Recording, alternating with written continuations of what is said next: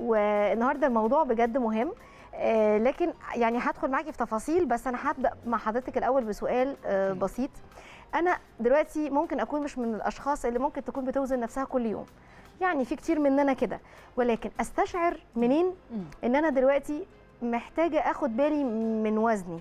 في حاجات أكيد بتحصل ممكن تديني علامات غير إن أنا أكون شايفة إن أنا مظبوطة جدا في المريء لأن في ناس كتير على فكرة بتقع في الخطأ ده دي حقيقة دي حقيقة كلامك آه. مظبوط جدا وسؤالك لطيف جدا وأعتبر حبيبتي صراحة تسلمي يعني. تحقيق هو مختلف وجديد صراحة.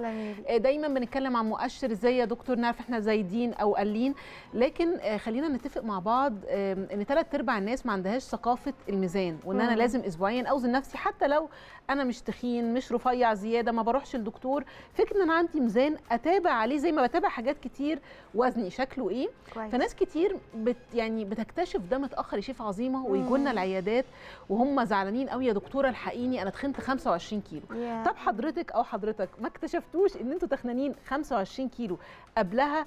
ليه بقى؟ عشان بيتغاضوا عن فكرة وده السؤال بقى حضرتك بتسأليه.